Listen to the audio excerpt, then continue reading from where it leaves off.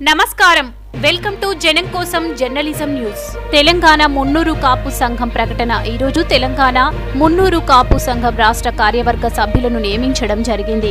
హన్మకొండ జిల్లాకు చెందిన షాయంపేట మండల నివాసి శ్రీ కోతూరు రమేష్ పటేల్ని రాష్ట్ర కార్యవర్గ సభ్యుడిగా నియమించడం జరిగింది. రాష్ట్ర కార్యవర్గ సభ్యునికి ఇరవై మండలాలు ఇన్ఛార్జి బాధ్యతలు ఇవ్వడం జరుగుతుంది. తెలంగాణ మున్నూరు కాపు సంఘం రాష్ట్ర కమిటీ జై Munnuru Kapu corporation. thank you.